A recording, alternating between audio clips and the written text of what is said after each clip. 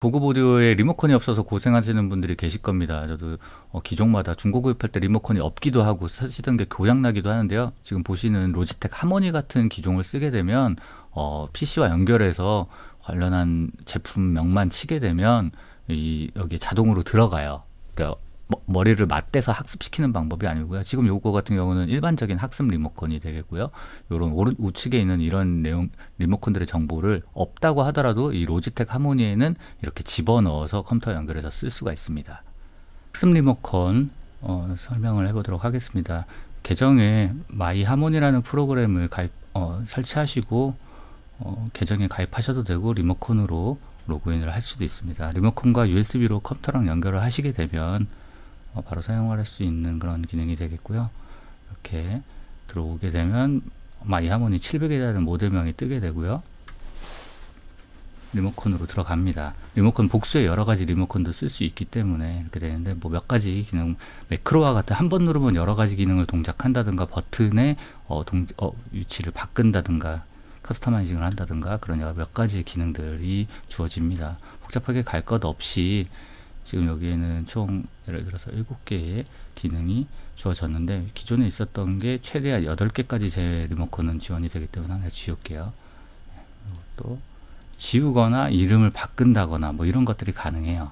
그래서 Add Device를 누르게 되면 브랜드를 먼저 쳐주세요. 저는 키하게 CD 5라는 모델을 한번 쳐보도록 하겠습니다. CD-5라고 자동으로 바꿔서 여기다 바로 넣어줬어요. 네. 그러면은 예를 들어서 이 CD5를 뭐 자기 자신은 굳이 티악 CD다. 근데 뭐 예를 들어서 그냥 자기는 티악 CDP라고만 그냥 적어 놓고 싶다. 뭐 이런 식으로 바꿔 놓을 수도 있어요. 그리고 지울 수도 있고요. 뭐 동작을 수정을 해서 넣을 수도 있고요. 이런 식이고 추가로 BAT 음, 제가 쓰고 있는 VK50이라는 모델을 한번 찾아볼게요. 네, VK50이라는 모델도 들어갔네요. 상당히 좀 긴 이름으로 적어줬으니까 이것도 이름을 B, BLT 네,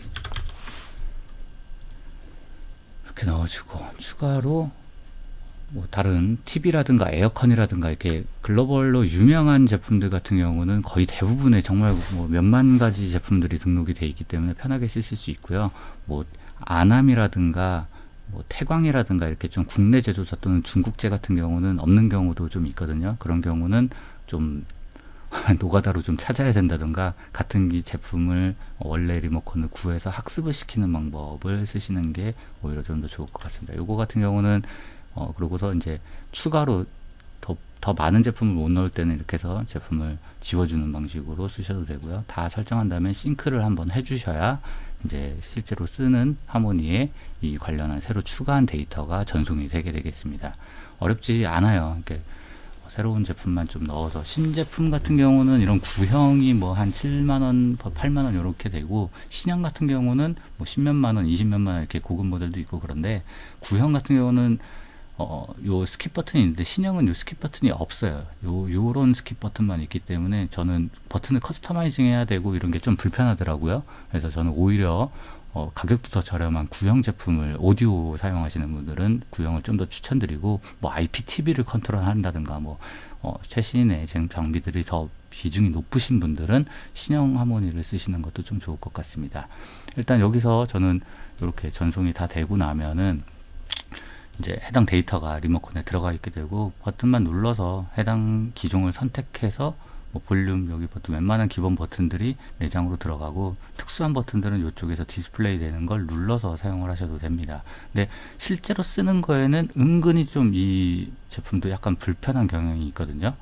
왜냐면 여러 개의 제품들이 등록되어 있는 게 기본이기 때문에 하나만 등록해서 뭐 매크로를 쓴다든가 이렇게 해가지고 기능을 설정을 시켜가지고 바로 편하게도 쓰실 수가 있는데 그게 또 약간 번거로울 수도 있고 어려울 수도 있거든요.